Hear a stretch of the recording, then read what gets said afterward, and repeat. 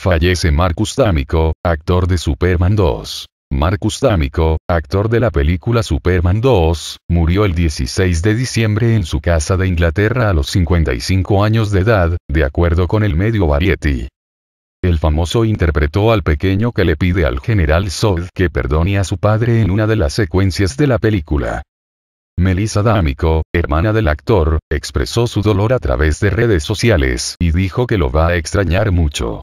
No solo he perdido a mi hermoso hermano, sino que el mundo ha perdido a un actor y director increíblemente talentoso. Las palabras no pueden expresar cuánto lo extraño. Melissa D'Amico, hermana del actor se sabe que Marcus murió por una fuerte neumonía. D'Amico nació el 4 de diciembre de 1965 en Frankfurt, Alemania, pero pronto se trasladó a Reino Unido.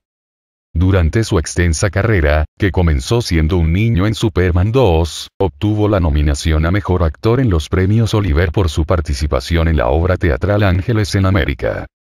Ganó un premio Theatre World en 1995 por la representación de Anne Inspector Calls, ya que era un actor muy exitoso en las producciones teatrales.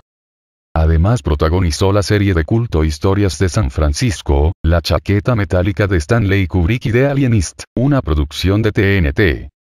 Suscríbanse y dejen su opinión en la caja de los comentarios.